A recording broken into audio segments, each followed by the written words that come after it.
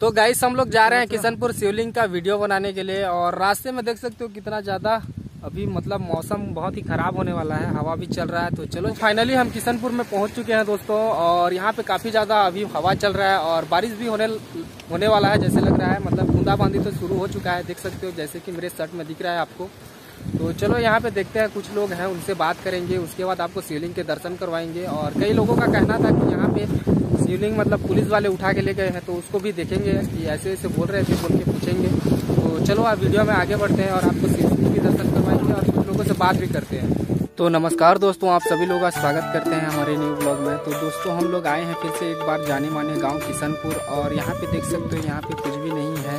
जैसे कि पहले कुछ महीनों पहले यहाँ पे बहुत ही ज़्यादा भीड़ हुआ करता था, लेकिन आज के डेट में यहाँ पे कोई भी नहीं है दोस्तों, देख सकते हो। और यहाँ पे कितनी छोटी छोटी प्यारी प्यारी सुंदर सुंदर दुकानें थी।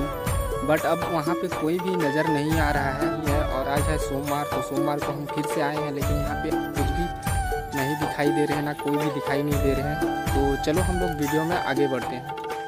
छत्तीसगढ़ का एक ऐसा गाँव जहाँ सबसे पहले शिवलिंग प्रकट हुआ था, जिस गाँव का नाम है किशनपुर यह किशनपुर पिथौरा ब्लॉक के महासमुंद ज़िले के अंतर्गत आता है, जहाँ कभी सोशल मीडिया यहाँ पे छाया हुआ करता था और लोगों की हमेशा भीड़ हुआ करती थी।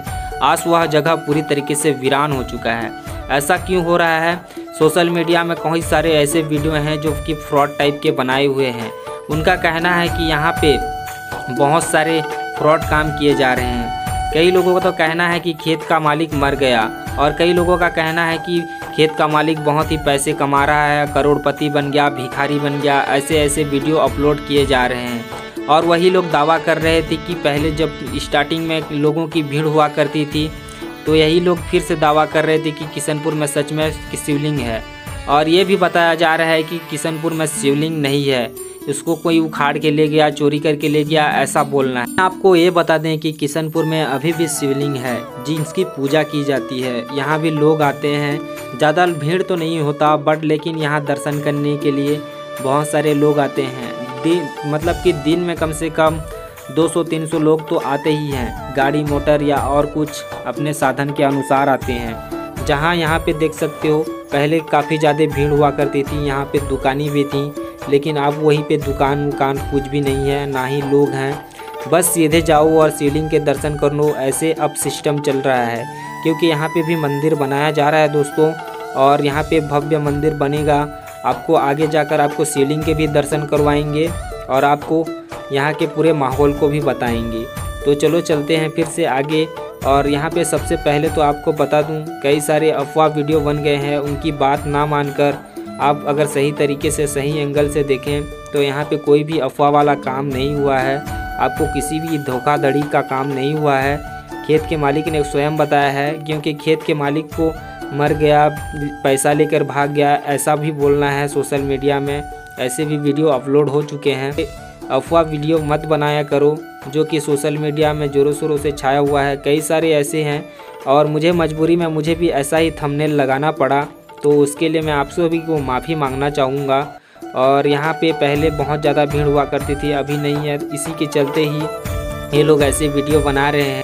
आप कभी धार्मिक स्थल गए होंगे तो आपने देखा होगा कि वहाँ पे भी काफ़ी ज़्यादा भीड़ होते हैं और कुछ चीज़न कोई भी भीड़ नहीं होता उस जगह में। बात की जाए यहाँ से आसपास में, ऐसे धार्मिक स्थल की तो राजिम हो गया, उड़ीसा में हो गया, नरसिंहनाथ और हरिशंकर हो गया, चंदरपुर हो गया, ऐसे जगह में भी काफ़ी ज़्यादा भीड़ होते हैं। लेकिन कुछ सीज़न में वहाँ भी भीड़ कम हो जाते हैं। इससे उनको मानना तो नहीं छोड़ते, उनकी पूजा तो नहीं करना चाहते, क्योंकि भगवान तो हर तरफ़ रहते हैं दोस्तों, सभी जगह रहते हैं। आप यहाँ पे भी हो और वहाँ पे भी है, सभी जगह रहते हैं। तो आइए आपकी आस्था के ऊपर डिपेंड करता है दोस्तों कि आपको किस पे मानना चाहिए और किस पे नहीं मानना चाहिए। यही मानना है। अगर मानो तो पत्थर भी भगवान है और ना मानो तो भगवान भी पत्थर है। तो आपको क्या लगता है कमेंट करके ज़रूर से बताना। और हम लोग आप किशनपुर के शिवलिंग की तरफ़ चलते हैं। चलो, यहाँ पे पहले काफ़ी ज़्यादा भीड़ होते थे और यहाँ पे कई सारी दुकानें थी जो कि पूरी खेत में स्टॉल लगाकर बैठे हुए थे कई सारे खिलौना वगैरह वगैरह बेच रहे थे कई सारी मूर्तियाँ भी बिका रही थी और होटल भी थे कई सारे बहुत सारे ऐसे दु, दुकानें थी जो कि यहाँ पे पूरा भरी पड़ी थी। यहाँ पे लोगों का आना जाना इतना ज़्यादा था कि बहुत ही ज़्यादा इसमें तकलीफ़ होती थी लोगों को आने जाने में। और इसी रास्ते में से बहुत सारे जो कि आते थे श्रद्धालु और इसी में लाइन लगकर आगे जाते थे। तो हम लोग ज़्यादा आपको वेट नहीं करवाएँगे हम लोग सीधा चलेंगे चलो जो जहाँ से लाइन स्टार्ट होती थी, जहाँ से लोगों का पहरेदारी होता था, वहाँ से ही चलते हैं और आपको दिखाते हैं वहीं से। आप कभी आए होंगे तो यहाँ पे देखे होंगे कि काफ़ी ज़्यादा भीड़ होते हैं, होते थे, क्योंकि यहाँ पे लोगों की बहुत ही ज़्यादा भीड़ हुआ करती थी।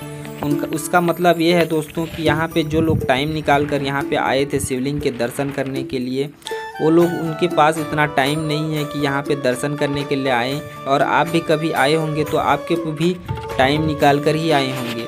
तो इस जगह अभी गर्मी के सीज़न है दोस्तों तो गर्मी काफ़ी ज़्यादा बढ़ गया है, इसलिए यहाँ पे भीड़ नहीं हो रहा है। और लोगों का, कई सारे का कहना था कि यहाँ पे शिवलिंग नहीं है तो हम लोग चलो चलते हैं पहले शिवलिंग के आपको दर्शन करवाएँगे। और यहाँ पे देखो, अभी भी कुछ लोग आते हैं और यहाँ पे देखो मेरे मामा कुछ कुछ खरीद रहे हैं और यहाँ पे कुछ लोग आते हैं तो स्टॉल भी लगा हुआ है, जैसे कि आप देख सकते हो। और ये थोड़ा मतलब अंदर में है दोस्तों, शिवलिंग के नज़दीक ही है। और देखो गाड़ी मोटर भी यहाँ पे है कि अभी लोग आ रहे हैं देखने के लिए और टाइम निकाल कर आते हैं कई सारे लोग। और यहाँ पे देखो एक पिकअप भी आता है और आपको दिखाते हैं कितने सारे श्रद्धालु आए हैं यहाँ पे। पूजा पाठ और शिवलिंग के दर्शन करने। देख सकते हो कितने लोग आए हैं। एक पिकअप में पूरा पिकअप भर कर आए हैं। मतलब कि लोगों की आस्था अभी भी बनी हुई है।